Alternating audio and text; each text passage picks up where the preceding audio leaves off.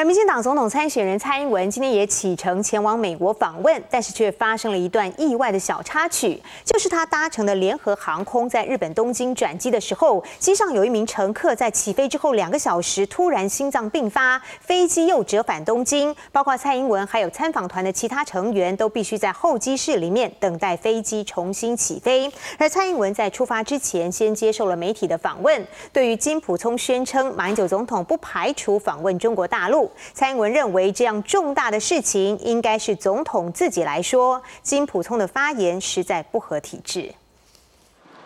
中秋节当天，民进党总统参选蔡英文赴美访问，副手苏家全也到场送机。蔡英文这趟美国行将拜会美国国务院的高层官员，而马办执行长金辅松已经先一步到美国，隔海就先开炮批评，质疑蔡英文的领导能力和他在重大政策上的立场反复。而蔡英文也反驳金辅松前月身份使用国家资源，将选战由国内延伸到国外。总统真的要管一管他的金先生了。如果金先生讲的事情是总统的立场，那就应该由总统出来讲，好，那不要让一个竞选的干部，哈，那呃肆意的在外面说一些不合体制的言行。而针对基辅聪在美国表示，总统马英九连任后，包括访问中国大陆，甚至政治对话都不排除有发展的可能性。蔡英文也提醒，马英九是中华民国总统，要考量到他的身份。这种事情是很重大的事情哈，那应该是由总统自己来讲嘛。如果他是中华民国的总统，他就是中华民国的总统